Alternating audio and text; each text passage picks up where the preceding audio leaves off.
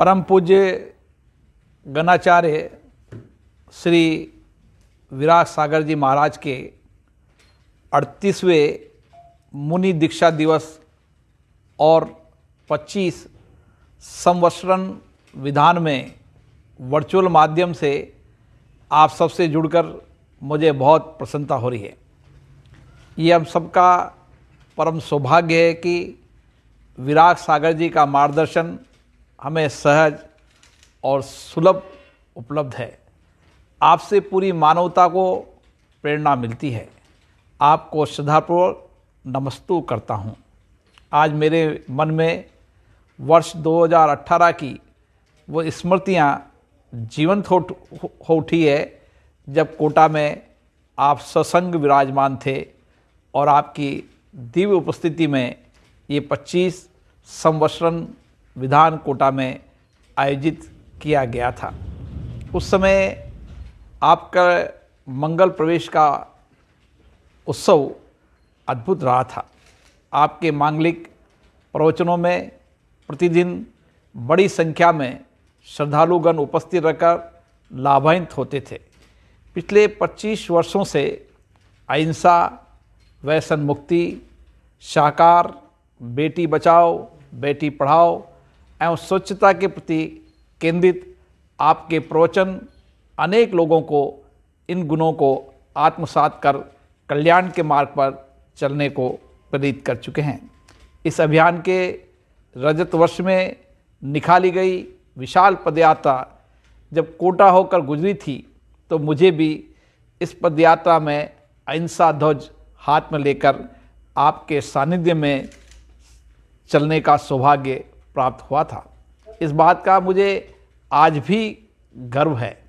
आज एक और जहाँ आपके शिष्य जैनत्व की वृद्धि को समर्पित हैं, वहीं आप स्वयं देश के नगर नगर एवं गांव-गांव में लगभग एक किलोमीटर का विहार कर असंख्य लोगों में मानव मूल्य का विकास कर चुके हैं। मैं मानवता की सेवा के इस महत्वपूर्ण कार्य के लिए अपनी कृतज्ञता ज्ञापित करता हूँ। हमारा देश आध्यात्मिक के साथ साथ हमेशा से शांति और मानवता के प्रति प्रेम का केंद्र रहा है। हमारे प्राचीन धर्म ग्रंथों में भी आध्यात्मिक और विश्व शांति की महत्ता का उल्लेख किया गया है। हमारे जनमानस और संस्कृति में वसुदेव कुटुम्बकम अर्थात पूरा विश्व हमारा परिवार की सर्वव्यापी भावना निहित रही है। इसी सार्वभौमिक कल्याण की भावना से जैन धर्म भी ओतप्रोत है। जैन धर्म विश्व के सबसे प्राचीन धर्मों में से एक है। सत्य, अहिंसा, त्याग एवं सांस्कृतिकता से मुक्ति के शाश्वत मूल्यों के सर्वधन हेतु जैन धर्म का उदय हुआ था।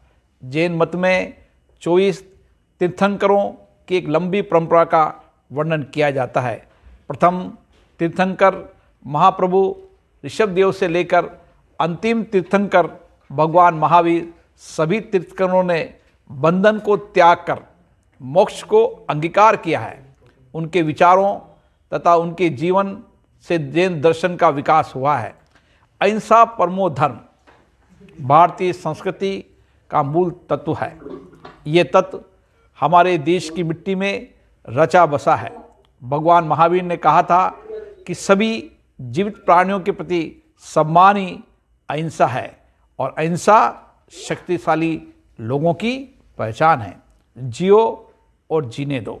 भगवान महावीर का अहिंसा के प्रति यह आग्रह ही जैन धर्म के मूल में है।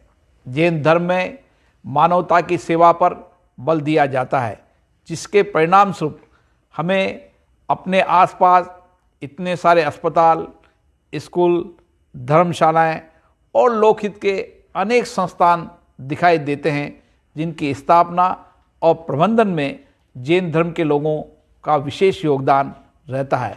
उनके जनहित और जन भलाई के जो कार्य किए जाते हैं, उनके लोकपकारी कार्य के लिए भी निश्चित रूप से मैं उन सबको साधुवाद देता हूँ। आज पूरा विश्व कोरोना महामारी के संकट से गुजर रहा है। इस महामारी ने पूरी मानवता को प्रभावित किया है, परंतु इस संकट के समय ऐसे कई व्यक्ति हैं, कई संगठन हैं समाज सेवी लोग हैं, जिन्होंने परोपकार, त्याग एवं दान की भावना से कार्य किया और समाज में व्याप्त दुख तथा विपत्ति को कम करने के लिए कार्य किया। मैंने देखा किस तरीके से कोरोना के समय सभी समाज के लोगों ने सामूहिक रूप से जन सेवा के काम को किया। इसके लिए संपूर्ण समाज के लोग बधाई के पात्र हैं, जिन्होंने इतना बड़ा सामूहिक रूप से प्रयास करके इस कोरोना संकट की महामारी से लड़ने के लिए हमें विशेष ताकत और संबल दी। जैन समाज भी इस मुश्किल की वक्त में पूरी तत्परता और ताकत के साथ कार्य में लगा रहा।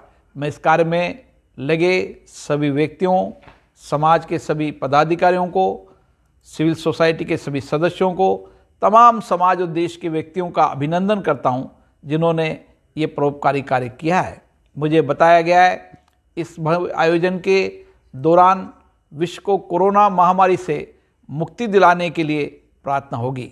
ये काम भी धर्म के द्वारा हम किस तरीके से आध्यात्मिक व्यक्ति से परिवर्तन करने का काम करते हैं। और इसीलिए आपने इस भव्य आयोजन के किया है। नौ दिनों तक कीर्ति जैन स्तंभ मंदिर में भगवान महावीर के जयकारे, मंत्र गूंजेंगे। लोगों के आध्यात्मिक ज्ञान मिलेगा। समशरण महामंडल विधान में 25 शमशरण बनाए जाएँगे। विश्व शांति के लिए माँ यज्ञ होगा। यज्ञ हमारी पुरानी पुरातत्व परंपरा है। हमारी वैदिक परंपरा है। इस अवसर पर मैं आप सभी को भी शुभकामनाएँ देता हूँ और आपके भावी प्रयास के लिए सफलता की कामना करता हूँ। मैं आप सबको साधुवाद देता हूँ। मुझे भी आज परम पूज्य गणाचार्य विराज सागर जी का शाश्वत दर्शन करने का अवसर प्राप्त हुआ, उनको नमस्तु करने का अवसर प्राप्त किया, इसके लिए मैं उनको प्रणाम करता हूँ। भगवान महावीर की कृपा हम पर इसी तरीके से बना रहे और हम इसी तरीके से सामाजिक और समाज के कल्याण में लगे रहें। जय जिनेन्द्र।